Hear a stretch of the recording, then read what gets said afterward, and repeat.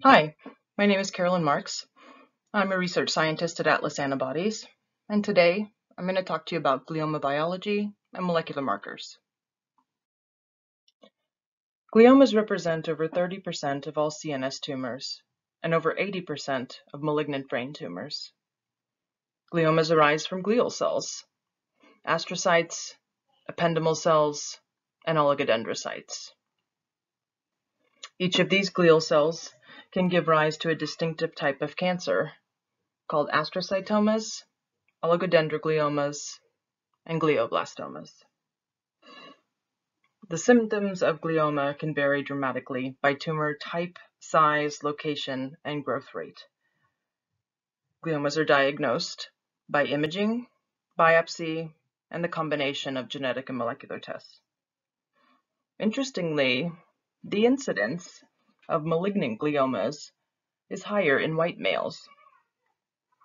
Prognosis is overall extremely poor in glioma.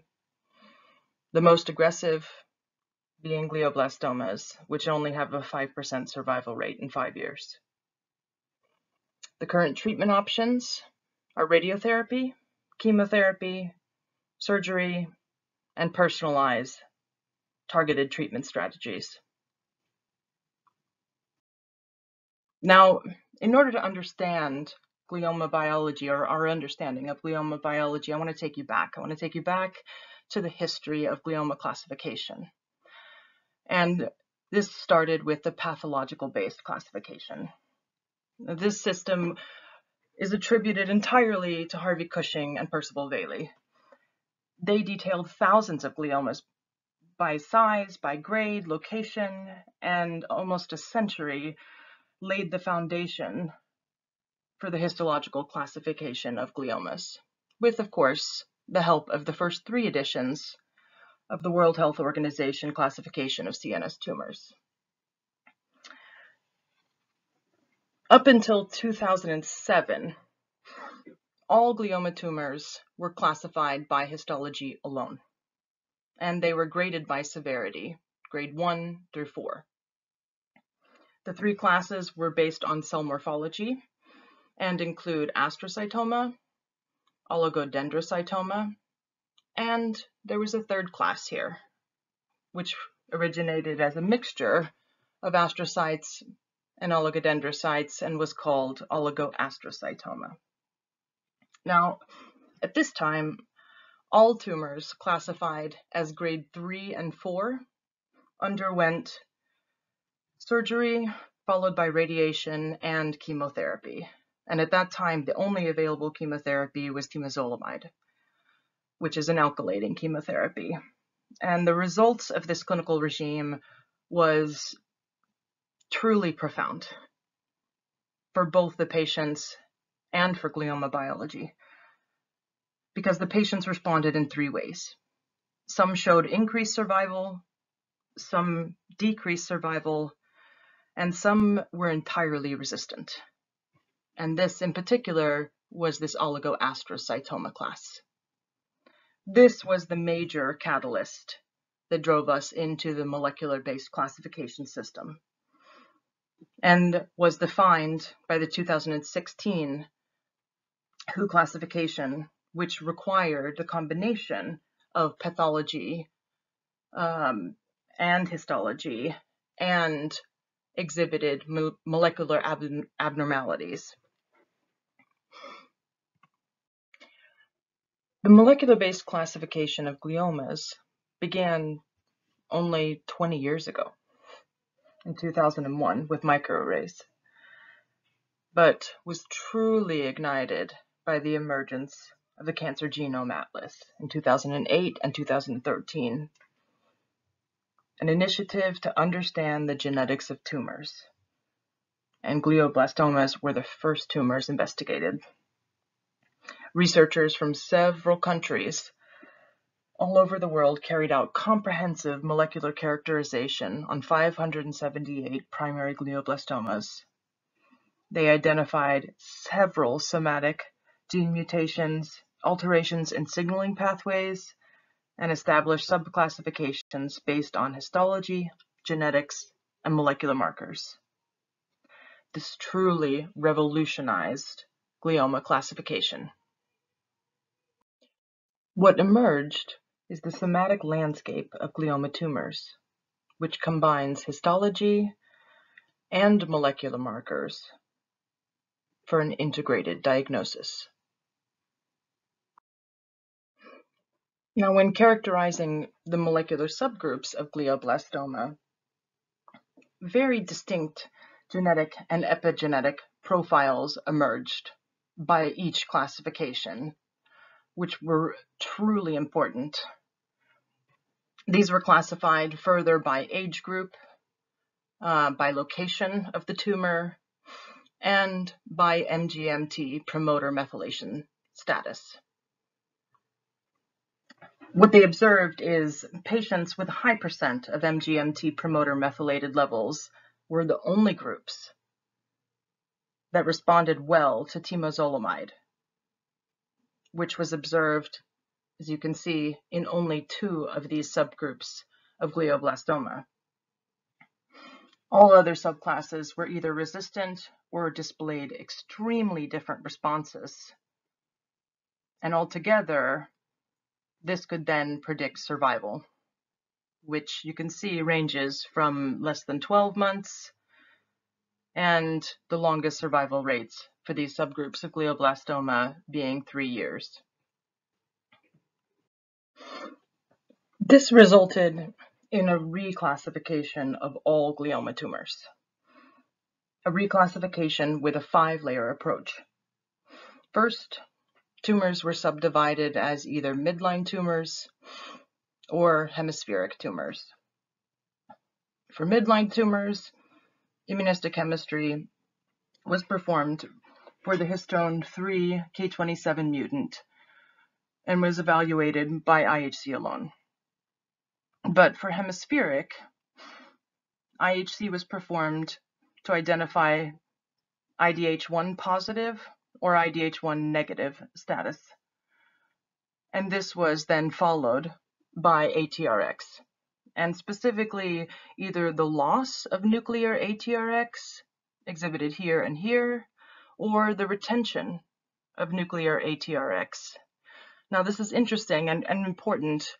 The loss is only observed in the tumor cells. So you'd have this internal control, positive control, of non-tumor cells. So ATRX was very important as a protein signature.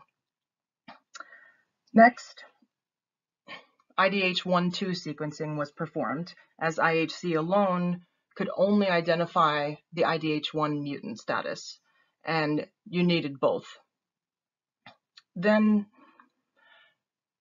quite profoundly, I would say, uh, the 1p19q co-deletion was identified as a molecular marker for differential diagnosis, specifically of oligodendrogliomas. Now, as you can see on the left, in normal chromosomes, two green and two red signals are exhibited, but in oligodendrogliomas, they identified either a single deletion being two green and one red, or the co-deletion of 1p 19q, which is exhibited by one green and one red. This molecular marker could distinguish oligodendrogliomas from all others and thereby eliminated this misclassification of oligoastrocytomas altogether. This classification has continued to evolve up to today, with the latest WHO classification of CNS tumors in 2021, and is now a seven-layer integrated diagnosis comprised of eight genomic and five protein signatures, each of which are stratified by location and predictive of patient response to treatment. I would like to highlight IDH and ATRX as they still remain the two gatekeepers of this classification that we use today.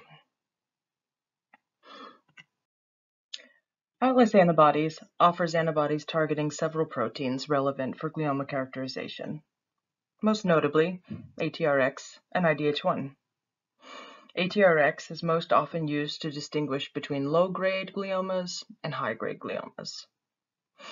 IDH1 in green, ATRX in red, and DAPI nuclear counterstain in blue is shown in combination here via multiplexing IF in glioblastoma and in oligodendroglioma tumors, which in my opinion, if these were available 20 years ago, could have helped avoid the astrocytoma misclassification.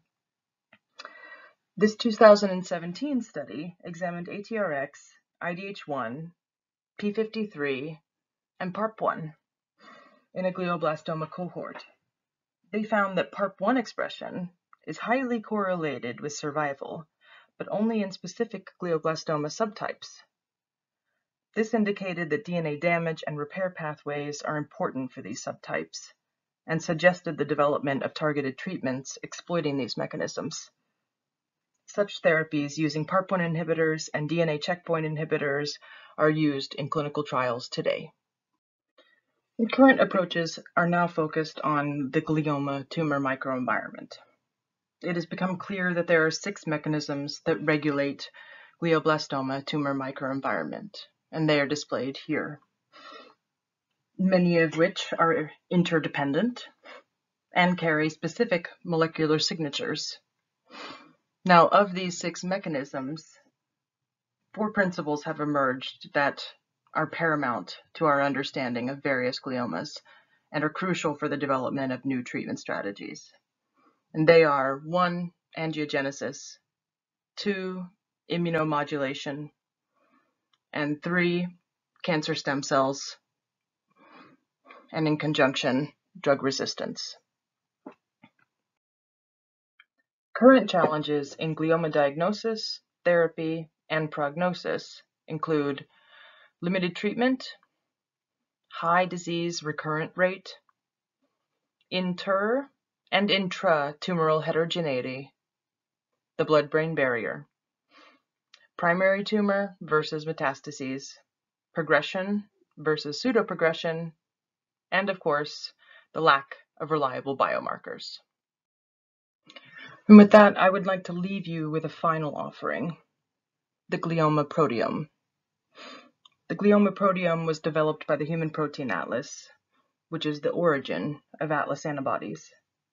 The Human Protein Atlas is a 12-year initiative that has mapped all proteins in the human body using antibody-based imaging, mass spectrometry-based proteomics, transcriptomics, and systems biology. All data is open access and contained in these six atlases.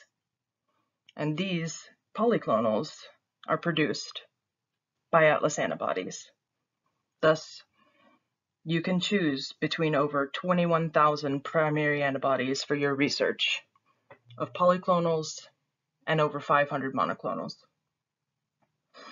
The glioma proteome, or the glioblastoma transcriptome, combines transcriptomic patient data from the Cancer Genome Atlas with antibody-based protein data. The Cancer Genome Atlas glioblastoma project contained proteomic data for only 214 proteins. And here, the glioblastoma transcriptome has identified 72% of all human genes are expressed in glioma, and of those, 682 genes have showed elevated expression.